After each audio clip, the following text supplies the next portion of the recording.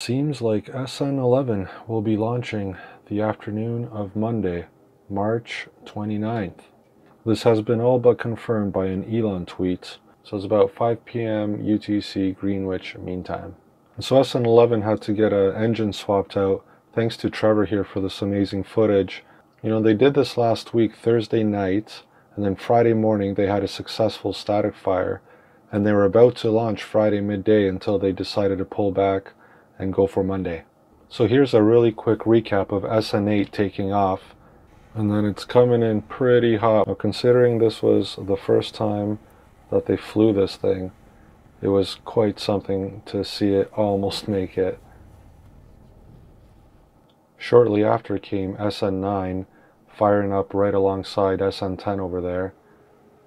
So again, they had some problems with getting enough thrust from the uh, Raptor engines and SN9 came in even hotter than SN8 did and ooh thankfully SN10 wasn't damaged in the uh, landing process here of the rapid unscheduled disassembly. Now the most recent launch of SN10 was in itself another thing of beauty and this time around we were extremely close.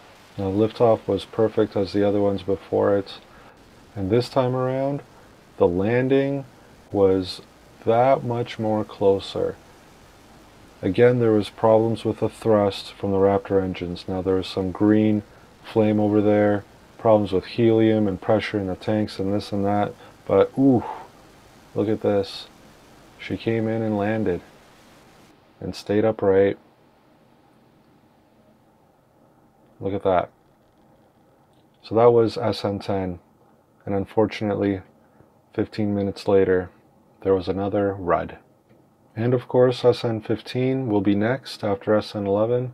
Already we can see its nose cone all ready to go, thanks to Nick here, the Astro guy. And Rafael posted this great new diagram of the updated SN15 thrust puck. Now let's not forget about Yusaku Maezawa's Starship Moon mission. His Dear Moon mission Submissions for tickets on that Starship in 2023 have just completed their second round. Now NASA has a couple pictures from the moon from the other side looking at Earth. It's quite spectacular. Imagine floating through space. Beautiful.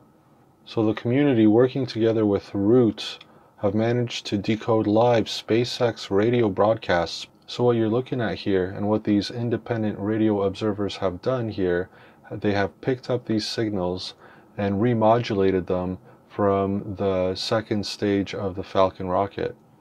It's quite amazing. But as of the last launch, it looks like SpaceX has picked up on it and started encrypting their signals.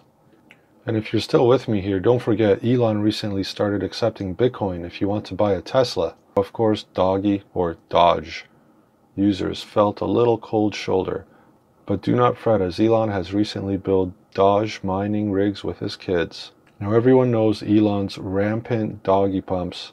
Now that he has incorporated the city of Starport, Texas, he has alluded that the official currency of this new interplanetary port city may very well be Doge. SN11, Godspeed.